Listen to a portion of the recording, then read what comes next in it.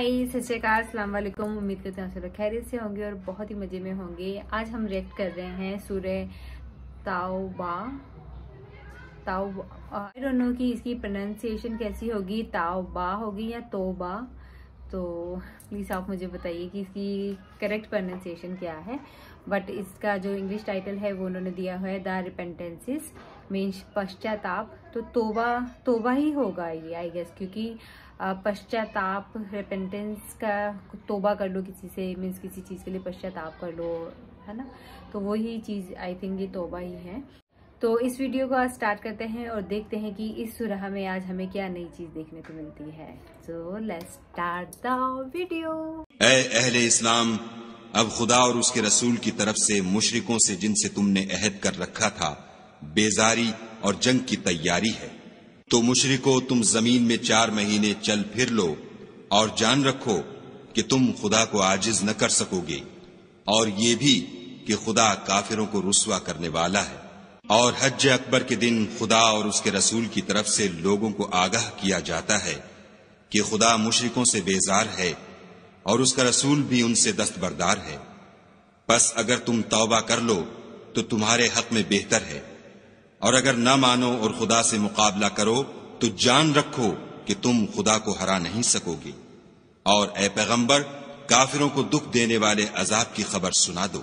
अलबत्ता जिन मुशरकों के साथ तुमने अहद किया हो, और उन्होंने तुम्हारा किसी तरह का कसूर न किया हो, और न तुम्हारे मुकाबले में किसी की मदद की हो तो जिस मुद्दत तक उनके साथ अहद किया हो, उसे पूरा करो, कि खुदा परहेजगारों को दोस्त रखता है।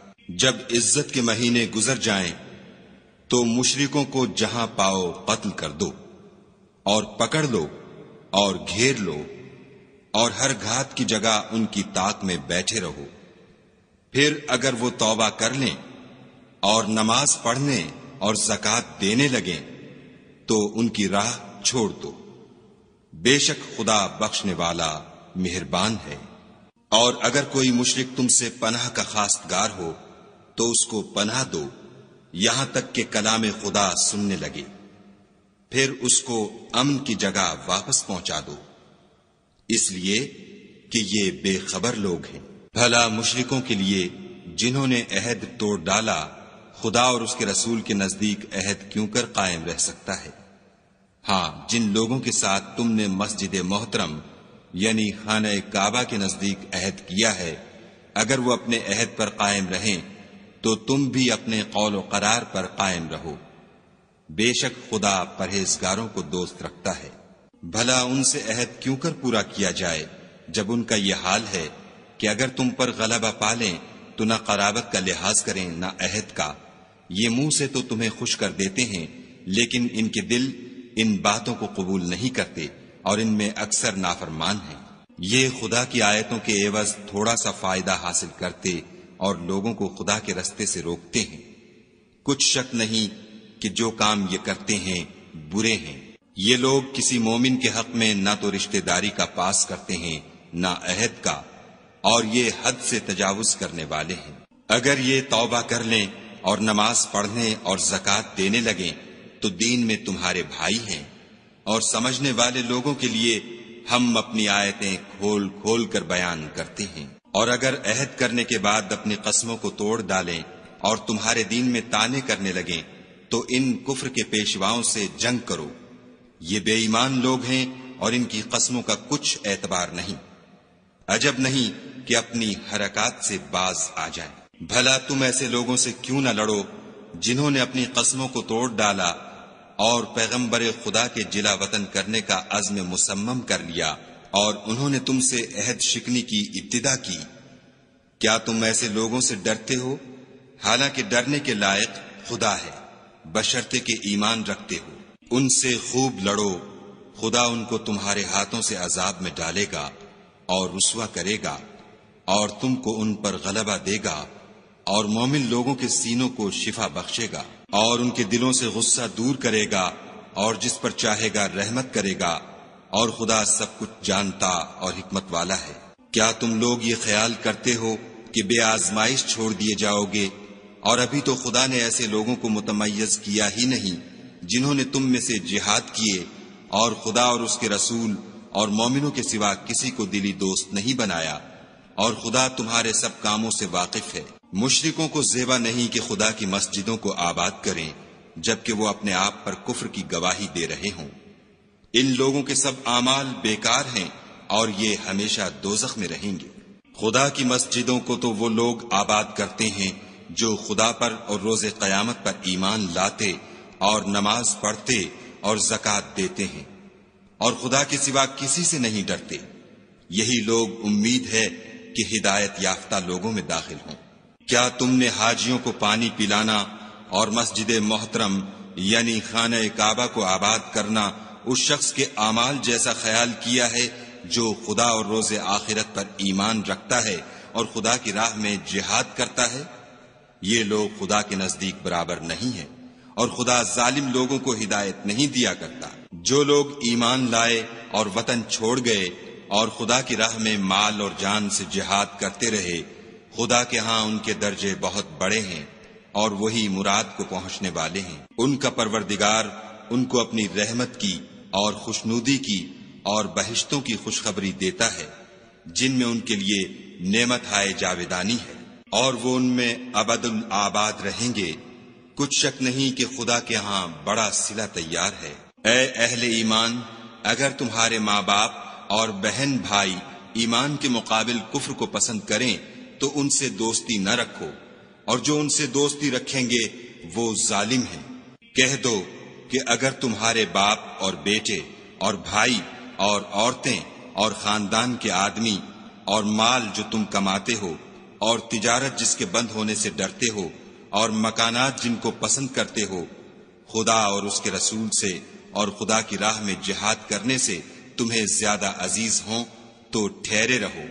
यहाँ तक कि खुदा अपना हुक्म यानी अजाब भेजे और खुदा नाफरमान लोगों को हिदायत नहीं दिया करता। खुदा ने बहुत से मौकों पर तुमको मदद दी है, और जंग हुनैन के दिन, जबकि तुमको अपनी जमात की कसरत पर गुर्रा था तो वो तुम्हारे कुछ भी काम न आई। और ज़मीन बावजूद इतनी बड़ी फराखी कि तुम पर तंग हो गई। फिर तुम पीठ फेर कर फिर गए। फिर खुदा ने अपने पैगंबर पर और मोमिनों पर अपनी तरफ़ से तस्कीन नाजिल फरमाई, और तुम्हारी मदद को फरिश्तों के लश्कर जो तुम्हें नज़र नहीं आते थे, आसमान से उतारे। और काफिरों को अजाब दिया और कुफ्र करने वालों की यही सजा है। फिर खुदा उसके बाद जिस पर चाहे मेहरबानी से तवज्जो फरमाए और खुदा बख्शने वाला मेहरबान है। मुशरिक तो पलीद हैं तो इस बरस के बाद वो खाना काबा के पास न जाने पाए। और अगर तुमको मुफलिसी का खौफ हो तो खुदा चाहेगा तो तुमको अपने फजल से गनी कर देगा। बेशक खुदा सब कुछ जानता और हिकमत वाला है। जो लोग अहले किताब में से खुदा पर ईमान नहीं लाते और ना रोज़े आखिरत पर यकीन रखते हैं और ना उन चीज़ों को हराम समझते हैं जो खुदा और उसके रसूल ने हराम की है और ना दीन हक को कबूल करते हैं, उनसे जंग करो। यहाँ तक कि जलील होकर अपने हाथ से जिजिया दें। और यहूद कहते हैं कि उजैर खुदा के बेटे हैं और ईसाई कहते हैं कि मसीह खुदा के बेटे हैं। ये उनके मुँह की बातें हैं पहले काफिर भी इसी तरह की बातें कहा करते थे। ये भी उन्हीं की रीस करने लगे हैं। खुदा इनको हलाक करे। ये कहाँ बह के फिरते हैं? उन्होंने अपने उलमा और मशाइ और मसीह इब्न मरियम को अल्लाह के सिवा खुदा बना लिया।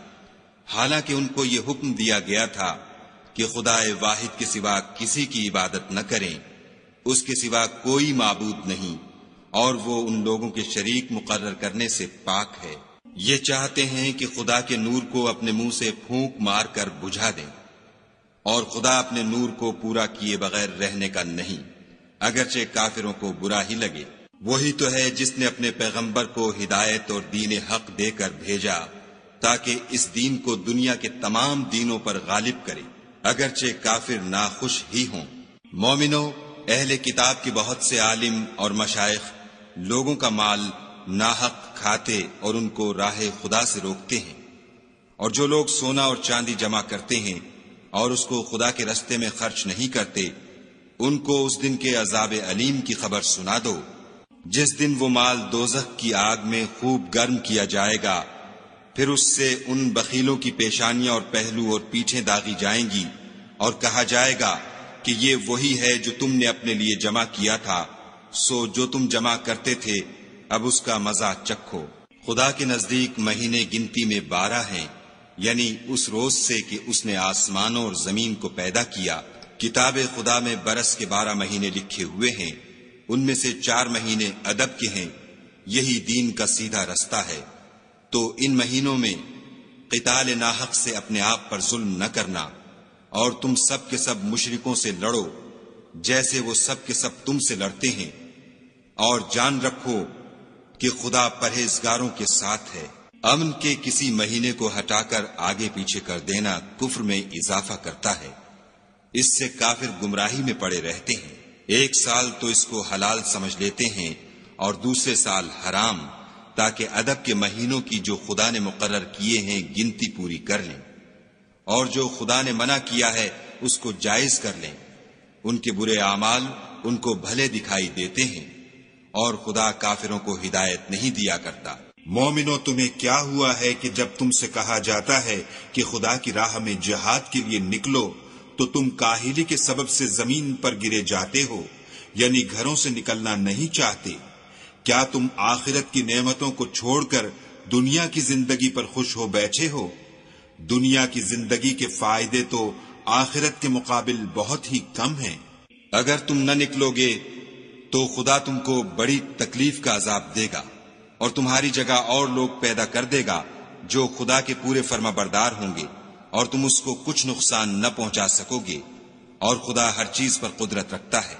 अगर तुम पैगंबर की मदद न करोगे तो खुदा उनका मददगार है। वो वक्त तुमको याद होगा, जब इनको काफिरों ने घर से निकाल दिया।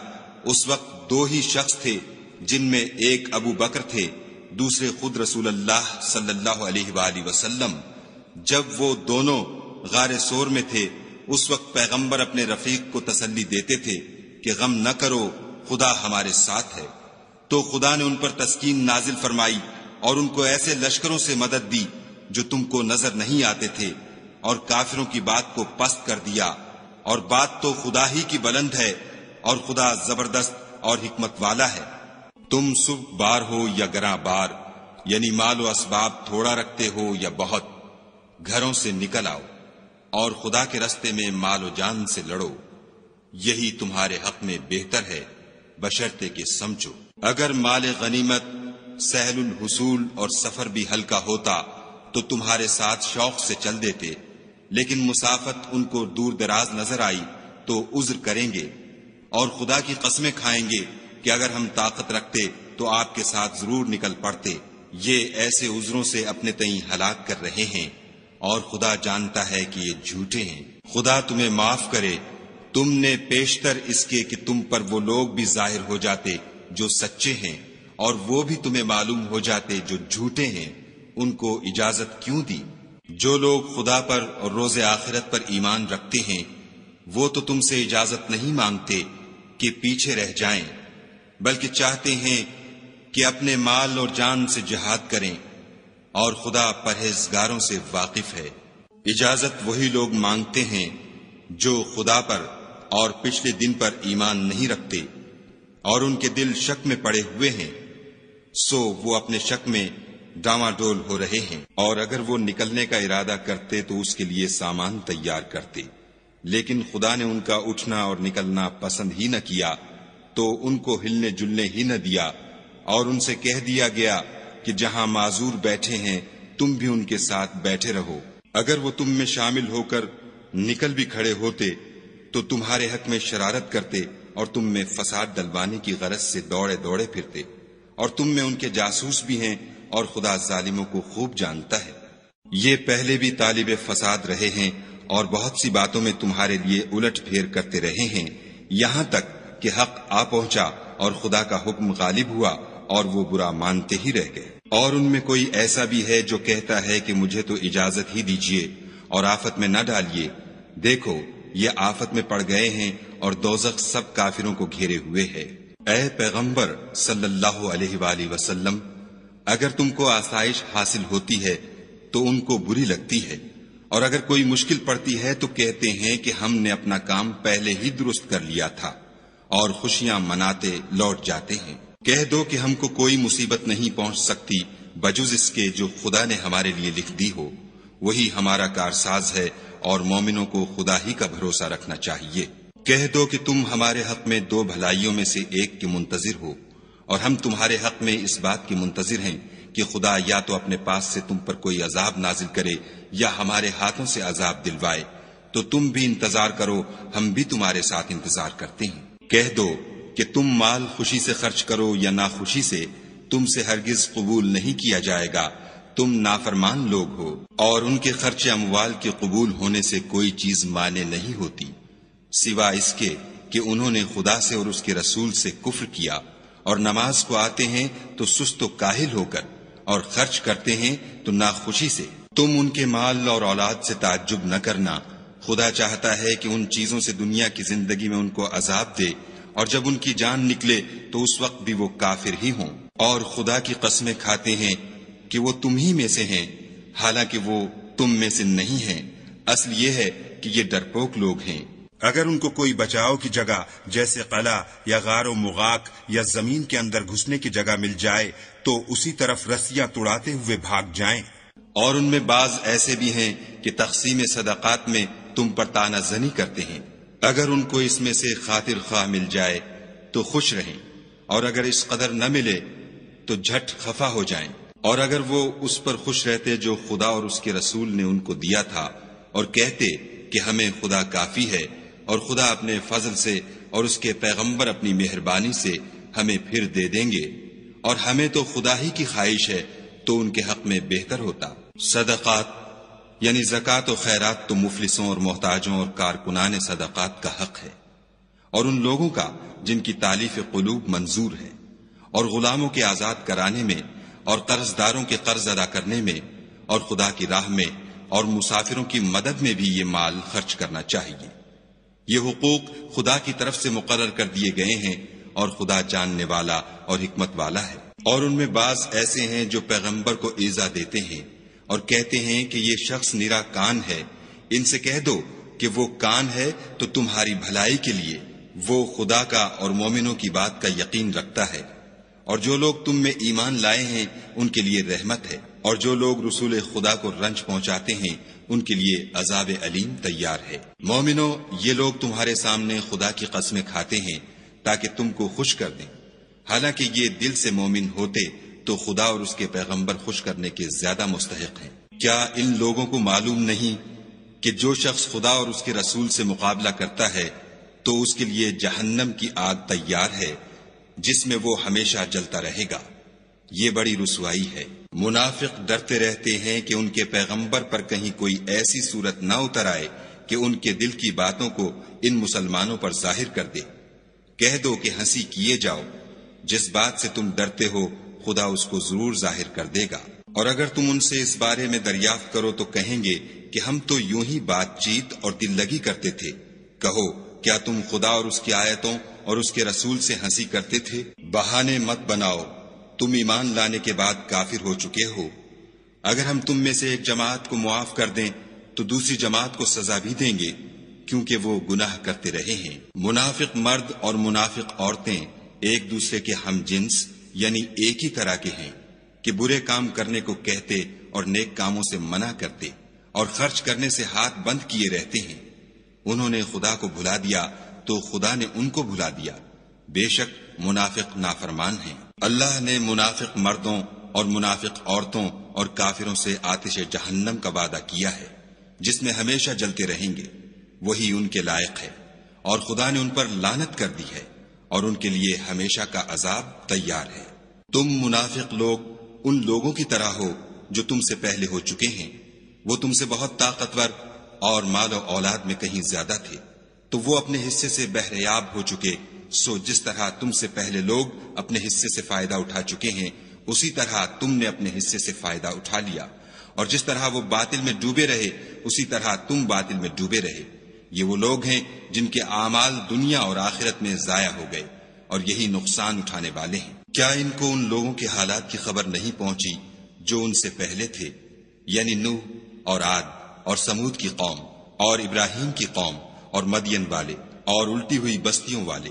उनके पास पैगंबर निशानियाँ ले लेकर आए और खुदा तो ऐसा न था कि उन पर जुल्म करता, लेकिन वही अपने आप पर जुल्म करते थे। और मोमिन मर्द और मोमिन औरतें एक दूसरे के दोस्त हैं कि अच्छे काम करने को कहते और बुरी बातों से मना करते और नमाज़ पढ़ते और जक़ात देते और खुदा और उसके पैगंबर की इतात करते हैं। यही लोग हैं जिन पर खुदा रहम करेगा। बेशक खुदा गालिब हिकमत वाला है। खुदा ने मोमिन मर्दों और मोमिन औरतों से बहिश्तों का वादा किया है। जिनके नीचे नहरें बह रही हैं, वो उनमें हमेशा रहेंगे और बहिश्त हाय जाविदानी में नफीस मकानात का वादा किया है। और खुदा की रजामंदी तो सबसे बढ़कर नेमत है। यही बड़ी कामयाबी है। ए पैगंबर काफिरों और मुनाफिकों से लड़ो और उन पर सख्ती करो और उनका ठिकाना दोजख है और वो बुरी जगह है। ये खुदा की कस्में खाते हैं कि इन्होंने तो कुछ नहीं कहा, हालाँकि उन्होंने कुफ्र का कलिमा कहा है और ये इस्लाम लाने के बाद काफिर हो गए हैं और ऐसी बात का कष्ट कर चुके हैं जिस पर कुदरत नहीं पा सके। और इन्होंने मुसलमानों में ऐ भी कौन सा देखा है सिवा इसके कि खुदा ने अपने फजल से और उसके पैगंबर ने अपनी मेहरबानी से इनको दौलतमंद कर दिया है। तो अगर ये लोग तौबा कर लें तो इनके हक में बेहतर होगा और अगर मुँह फेर लें तो खुदा इनको दुनिया और आखिरत में दुख देने वाला अजाब देगा और ज़मीन में इनका कोई दोस्त और मददगार न होगा। और इनमें बाज ऐसे हैं जिन्होंने खुदा से अहद किया था कि अगर वो हमको अपनी मेहरबानी से माल अता फरमाएगा तो हम ज़रूर खैरात किया करेंगे और नेकुकारों में हो जाएँगे। लेकिन जब खुदा ने इनको अपने फजल से माल दिया तो उसमें बुखल करने लगे और अपने अहद से रूगरदानी करके फिर बैठे। तो खुदा ने उसका अंजाम ये किया कि उस रोज तक के लिए जिसमें वो खुदा के रूबरू हाजिर होंगे, उनके दिलों में निफाक डाल दिया। इसलिए कि उन्होंने खुदा से जो वादा किया था, उसके खिलाफ किया और इसलिए कि वो झूठ बोलते थे। क्या उनको मालूम नहीं कि खुदा उनके भेदों और मशवरों तक से वाकिफ है और ये कि वो गैब की बातें जानने वाला है। जो जी इस्तात मुसलमान दिल खोल कर खैरात करते हैं और जो बेचारे गरीब सिर्फ़ इतना ही कमा सकते हैं जितनी मजदूरी करते और थोड़ी सी कमाई में से भी खर्च करते हैं, उन पर जो मुनाफिक तान करते और हँसते हैं, खुदा उन पर हंसता है और उनके लिए तकलीफ़ देने वाला अजाब तैयार है। तुम उनके लिए बख्शिश मांगो या न मांगो, बात एक है अगर उनके लिए सत्तर दफ़ा भी बख्शिश मांगोगे तो भी खुदा उनको नहीं बख्शेगा। ये इसलिए कि उन्होंने खुदा और उसके रसूल से कुफ्र किया और खुदा नाफरमान लोगों को हिदायत नहीं देता। जो लोग गजब तबूक में पीछे रह गए, वो पैगंबर खुदा की मर्ज़ी के खिलाफ बैठ रहने से खुश हुए और इस बात को नापसंद किया कि खुदा की राह में अपने माल और जान से जहाद करें और औरों से भी कहने लगे कि गर्मी में मत निकलना। उनसे कह दो कि दौजक की आग इससे कहीं ज़्यादा गर्म है। काश ये इस बात को समझते। ये दुनिया में थोड़ा सा हंस लें और आखिरत में इनको उन आमाल के बदले जो करते रहे हैं, बहुत सा रोना होगा। फिर अगर खुदा तुमको उनमें से किसी गिरोह की तरफ़ ले जाए और वो तुमसे निकलने की इजाज़त तलब करें तो कह देना कि तुम मेरे साथ हरगिज नहीं निकलोगे और न मेरे साथ मददगार होकर दुश्मन से लड़ाई करोगे। तुम पहली दफ़ा बैठ रहने से खुश हुए तो अब भी पीछे रहने वालों के साथ बैठे रहो। और ए पैगंबर वसल्लम, उनमें से कोई मर जाए तो कभी उसके जनाजे पर नमाज़ न पढ़ना और न उसकी कब्र पर जाकर खड़े होना। ये खुदा और उसके रसूल के साथ कुफ्र करते रहे और मरे भी तो नाफरमान ही मरे। और उनके माल और औलाद से ताज्जुब न करना। इन चीज़ों से खुदा ये चाहता है कि उनको दुनिया में अजाब करे और जब उनकी जान निकले तो उस वक्त भी ये काफिर ही हों। कोई सूरत नाजिल होती है कि खुदा पर ईमान लाओ और उसके रसूल के साथ होकर लड़ाई करो तो जो उनमें दौलतमंद हैं, वो तुमसे इजाज़त तलब करते हैं और कहते हैं कि हमें तो रहने ही दीजिए कि जो लोग घरों में रहेंगे, हम भी उनके साथ रहें। ये इस बात से खुश हैं कि औरतों के साथ जो पीछे रह जाती हैं, घरों में बैठ रहे उनके दिलों पर मोहर लगा दी गई है तो ये समझते ही नहीं।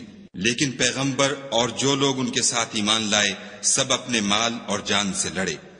उन्हीं लोगों के लिए भलाइयाँ हैं और यही मुराद पाने वाले हैं। खुदा ने उनके लिए बागात तैयार कर रखे हैं, जिनके नीचे नहरें बह रही हैं, हमेशा उनमें रहेंगे।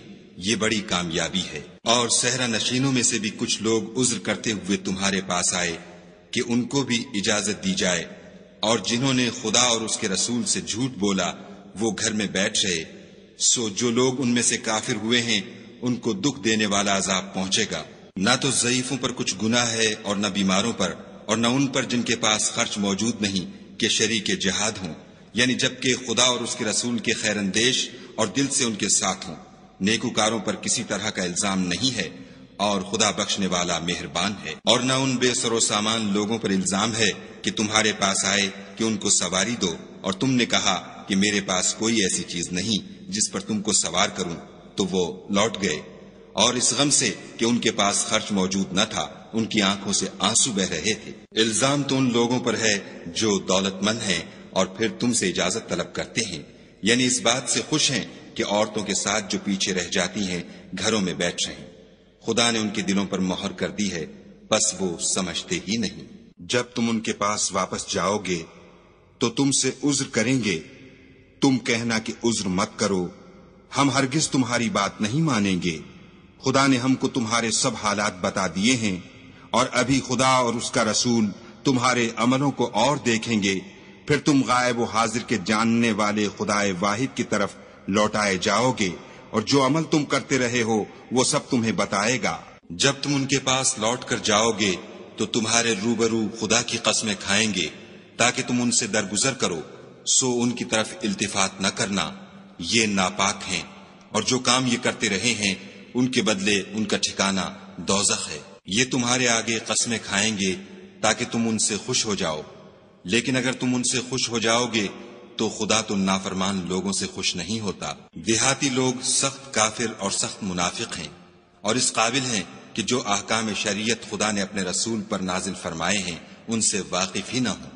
और खुदा जानने वाला और हिकमत वाला है। और बाज देहाती ऐसे हैं कि जो कुछ खर्च करते हैं, उसे तावान समझते हैं और तुम्हारे हक में मुसीबतों के मुंतजर हैं। उन्हीं पर बुरी मुसीबत वाक़ हो और खुदा सुनने वाला और जानने वाला है। और बाज देहाती ऐसे हैं कि खुदा पर और रोज़े आखिरत पर ईमान रखते हैं और जो कुछ खर्च करते हैं, उसको खुदा की कुर्बत और पैगंबर की दुआओं का ज़रिया समझते हैं। देखो, वो बेशुबा उनके लिए मुजिब कुर्बत है। खुदा उनको अनकरीब अपनी रहमत में दाखिल करेगा। बेशक खुदा बख्शने वाला मेहरबान है। जिन लोगों ने सबकत की, यानी सबसे पहले ईमान लाए, मुहाजरीन में से भी और अंसार में से भी, और जिन्होंने नेकुकारी के साथ उनकी पैरवी की, खुदा उनसे खुश है, और वो खुदा से खुश हैं, और उसने उनके लिए बागात तैयार किए हैं, जिनके नीचे नहरें बह रही हैं, और हमेशा उनमें रहेंगे। ये बड़ी कामयाबी है। और तुम्हारे गिरदो नवाह के बाज देहाती मुनाफिक हैं, और बाज मदीने वाले भी निफाक पर अड़े हुए हैं। तुम उन्हें नहीं जानते, हम जानते हैं। हम उनको दोहरा अजाब देंगे, फिर वो बड़े अजाब की तरफ़ लौटाए जाएँगे। और कुछ और लोग हैं कि अपने गुनाहों का साफ़ इकरार करते हैं। उन्होंने अच्छे और बुरे अमलों को मिला जुला दिया था। करीब है कि खुदा उन पर मेहरबानी से तवज्जो फरमाए। बेशक खुदा बख्शने वाला मेहरबान है। उनके माल में से जक़ात कबूल कर लो कि उससे तुम उनको ज़ाहिर में भी पाक और बातिन में भी पाकिजा करते हो। और उनके हक में दुआए खैर करो कि तुम्हारी दुआ उनके लिए मुजिब तस्कीन है और खुदा सुनने वाला, जानने वाला है। क्या ये लोग नहीं जानते कि खुदा ही अपने बंदों से तौबा कबूल फरमाता और सदकात खैरात लेता है? और बेशक खुदा ही तौबा कबूल करने वाला मेहरबान है। और उनसे कह दो कि अमल किए जाओ, खुदा और उसका रसूल और मोमिन सब तुम्हारे अमलों को देख लेंगे और तुम गायब व हाजिर के जानने वाले खुदाए वाहिद की तरफ़ लौटाए जाओगे। फिर जो कुछ तुम करते रहे हो, वो सब तुमको बता देगा। और कुछ और लोग हैं जिनका काम खुदा के हुक्म पर मौकूफ है। चाहे उनको अजाब दे और चाहे माफ़ कर दे। और खुदा जानने वाला हिकमत वाला है। और उनमें ऐसे भी हैं जिन्होंने इस गरज से मस्जिद बनाई है कि जरर पहुंचाएँ और कुफ्र करें और मोमिनों में तफरीका डालें। और जो लोग खुदा और उसके रसूल से पहले जंग कर चुके हैं उनके लिए घात की जगह बनाएँ और कस्में खाएँगे कि हमारा मकसूद तो सिर्फ़ भलाई थी, मगर खुदा गवाही देता है कि ये झूठे हैं। तुम उस मस्जिद में कभी जाकर खड़े भी न होना। अलबत्ता वो मस्जिद जिसकी बुनियाद पहले दिन से तकवा पर रखी गई है, इस काबिल है कि उसमें जाया और नमाज़ पढ़ाया करो। इसमें ऐसे लोग हैं जो पाक रहने को पसंद करते हैं और खुदा पाक रहने वालों ही को पसंद करता है। भला जिस शख्स ने अपनी इमारत की बुनियाद खुदा के खौफ और उसकी रजामंदी पर रखी वो अच्छा है या वो जिसने अपनी इमारत की बुनियाद गिर जाने वाली खाई के किनारे पर रखी, कि वो उसको दोजख की आग में ले गिरी और खुदा जालिम लोगों को हिदायत नहीं देता। ये इमारत जो उन्होंने बनाई है, हमेशा उनके दिलों में मुजिब खिलजान रहेगी और उनको मुतरद रखेगी, मगर ये कि उनके दिल पाश पाश हो जाएँ और खुदा जानने वाला, हिकमत वाला है। खुदा ने मोमिनों से उनकी जाने और उनके माल खरीद लिए हैं। और उसके एवज में उनके लिए बहिश्त तैयार की है। ये लोग खुदा की राह में लड़ते हैं तो मारते भी हैं और मारे जाते भी हैं। ये तौरात और इंजील और कुरान में सच्चा वादा है, जिसका पूरा करना उसे ज़रूर है। और खुदा से ज़्यादा वादा पूरा करने वाला कौन है? तो जो सौदा तुमने उससे किया है, उससे खुश रहो, और यही बड़ी कामयाबी है। तौबा करने वाले, इबादत करने वाले, हमद करने वाले, रोजा रखने वाले, रुकू करने वाले सजदा करने वाले, नेक कामों का अमर करने वाले, बुरी बातों से मना करने वाले, खुदा की हदों की हिफाजत करने वाले, यही मोमिन लोग हैं। और ए पैगंबर, मोमिनों को बहिश्त की खुशखबरी सुना दो। पैगंबर और मुसलमानों को शाया नहीं कि जब उन पर ज़ाहिर हो गया कि मुशरक अहल दोजख हैं तो उनके लिए बख्शिश मांगे। गो, वो उनके कराबतदार ही हों। और इब्राहिम का अपने बाप के लिए बख्शिश मांगना तो एक वादे के सबब था, जो वो उससे कर चुके थे। लेकिन जब उनको मालूम हो गया कि वो खुदा का दुश्मन है तो उससे बेजार हो गए। कुछ शक नहीं कि इब्राहिम बड़े नर्म दिल और मुतहमिल थे। और खुदा ऐसा नहीं कि किसी कौम को हिदायत देने के बाद गुमराह कर दे, जब तक उनको वो चीज़ न बता दे जिससे वो परहेज करें। बेशक खुदा हर चीज़ से वाकिफ है। खुदा ही है जिसके लिए आसमान और ज़मीन की बादशाहत है। वही जिंदगानी बख्शता और वही मौत देता है। और खुदा के सिवा तुम्हारा कोई दोस्त और मददगार नहीं है। बेशक खुदा ने पैगंबर पर मेहरबानी की और मुहाजरीन और अंसार पर, जो बावजूद इसके कि उनमें से बाजों के दिल जल्द फिर जाने को थे, मुश्किल की घड़ी में पैगंबर के साथ रहे। फिर खुदा ने उन पर मेहरबानी फरमाई। बेशक वो उन पर निहायत शफकत करने वाला और मेहरबान है। और उन तीनों पर भी जिनका मामला मुलतवी किया गया था, यहाँ तक कि जब ज़मीन बावजूद फराखी के उन पर तंग हो गई और उनकी जाने भी उन पर दूभर हो गईं और उन्होंने जान लिया कि खुदा के हाथ से खुद उसके सिवा कोई पनाह नहीं, फिर खुदा ने उन पर मेहरबानी की ताकि तौबा करें। बेशक खुदा तौबा कबूल करने वाला मेहरबान है। ए अहले ईमान, खुदा से डरते रहो और रास्तबाजों के साथ रहो। अहले मदीना को और जो उनके आसपास देहाती रहते हैं, उनको शाया न था। कि पैगंबर खुदा से पीछे रह जाएँ, और न ये कि अपनी जानों को उनकी जान से ज़्यादा अज़ीज़ रखें। ये इसलिए कि उन्हें खुदा की राह में जो तकलीफ़ पहुँचती है, प्यास की या मेहनत की, या भूख की, या वो ऐसी जगह चलते हैं कि काफिरों को गुस्सा आए, या दुश्मनों से कोई चीज़ लेते हैं तो हर बात पर उनके लिए अमल नेक लिखा जाता है। कुछ शक नहीं कि खुदा नेकुकारों का अज्र जाया नहीं करता। और इसी तरह वो जो खर्च करते हैं थोड़ा या बहुत, या कोई मैदान तय करते हैं तो ये सब कुछ उनके लिए आमाल सालेह में लिख लिया जाता है, ताकि खुदा उनको उनके आमाल का बहुत अच्छा बदला दे। और ये तो हो नहीं सकता कि मोमिन सब के सब निकल आए तो यूँ क्यों न किया कि हर एक जमात में से चंद अशखास निकल जाते, ताकि दीन का इल्म सीखते और उसमें समझ पैदा करते, और जब अपनी कौम की तरफ़ वापस आते तो उनको डर सुनाते, ताकि वो हजर करते। ए अहले ईमान, अपने नज़दीक के रहने वाले काफिरों से जंग करो और चाहिए कि वो तुम में सख्ती, यानी मेहनत कुत जंग मालूमात करें और जान रखो कि खुदा परहेजगारों के साथ है। और जब कोई सूरत नाजिल होती है तो बाज मुनाफिक इस्तेजा करते और पूछते हैं कि इस सूरत ने तुम में से किसका ईमान ज़्यादा किया है। सो, जो ईमान वाले हैं, उनका तो ईमान ज़्यादा किया और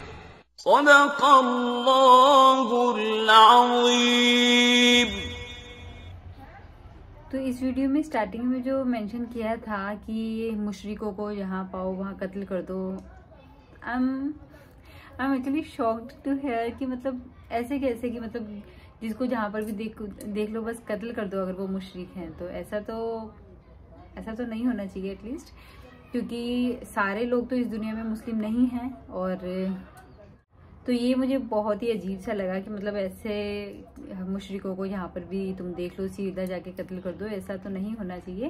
क्योंकि इस दुनिया में तो सबको जीने का राइट है और अगर कोई मुशरक है भी, वो अल्लाह को नहीं मान रहे या वो अल्लाह के बताए हुए रास्ते पे नहीं चल रहे प्रोफे मोहम्मद सल्लल्लाहु अलैहि वसल्लम के बनाए, बताए हुए रास्ते पे नहीं चल रहे तो ठीक है let them be like that only अगर उन्हें अल्लाह ने जो भी उन्हें नर्क में भेजना है या उनके ऊपर दो जग की आग डालनी है, जो भी है तो वो अल्लाह डिसाइड करेंगे ना उस टाइम पे जब वो बंदा वहाँ जाएगा।